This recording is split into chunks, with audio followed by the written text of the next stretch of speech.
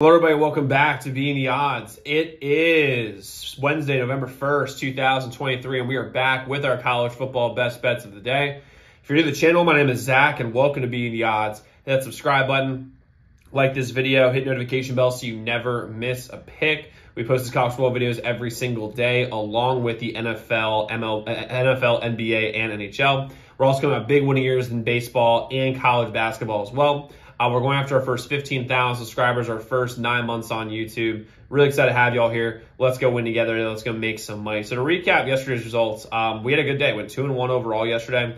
Uh, we had Central Michigan plus five and a half. That was a winner. We had the under 50 and a half in Toledo and Buffalo, also a winner. Didn't look good in the beginning, but we got a dub. We had Buffalo plus 15 and a half. That was a loss. So overall for the year, 85 and 71. Best bets 24 and 11. Very, very profitable. And we have one pick I'm giving guys here on YouTube today because there's only two games on. I have one members only college football play as well, plus two NBA uh, members only, probably three. You can visit zdmbets.com slash picks, become a member there. As a member, you get all of our members only plays every single day, sent straight to your phone. Those are most profitable, best bets we have on a day to day basis. On top of that, you have a direct line to me. So any game you're considering betting, you reach out to our hotline number, get a guarantee response back about any game you're considering betting.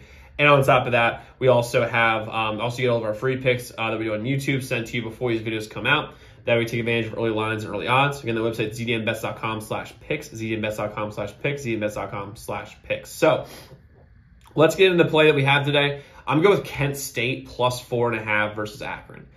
This game is just, I mean, if you're going to watch this game, I am going to watch this game, by the way. You're a total sicko, and I'm a sicko as well, because I'm going to watch this game against and Akron.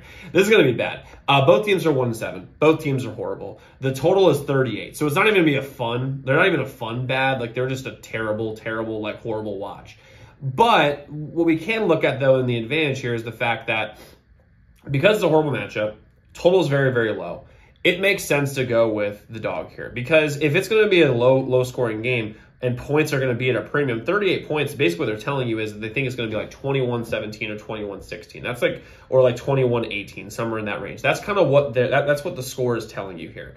And Kent State I think is playing against better competition than Akron has. So I think they're a bit undervalued here. And the home teams in these in these er, in these um during the week games in college football have not been faring as well as they normally do.